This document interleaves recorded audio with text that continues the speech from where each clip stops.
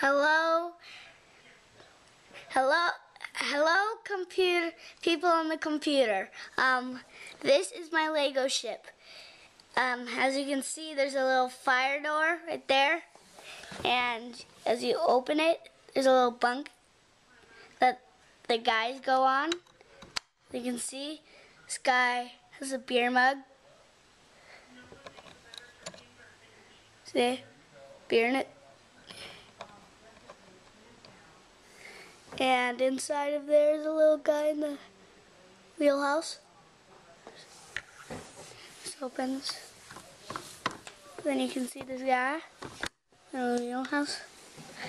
And there's a guy. And there's supposed to be a guy up there.